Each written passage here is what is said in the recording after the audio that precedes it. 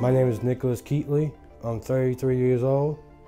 Uh, I've been here about, what's going on, two years, and I usually go to the 8:30 class. Typical fitness level, like every beginning of year, try and work out, and then I've been working out for two, like two months. Then I quit, and then something.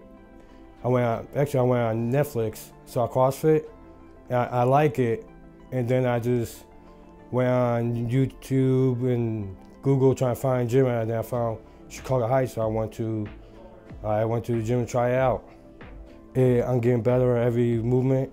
Like at first, for first guy, I couldn't do the movement, like pull-ups. Now I can do pull-ups, no problem.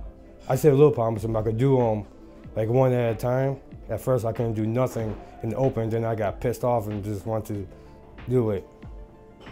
So it keep it keep getting better each day by day. I, I like CrossFit is like a like a family thing. Like everybody push each other, help help each other out, and let's say a bunch of like a family.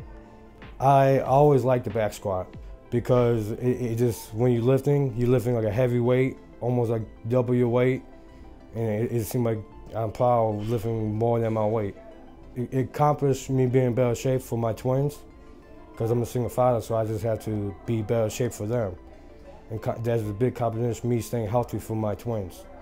But I had to see them get grow up, see my grandkids, and, and see them getting old. I want to thank Chicago Heights CrossFit Gym in Chicago Heights, and and the coaches and all the all, all the work all the people I work out with.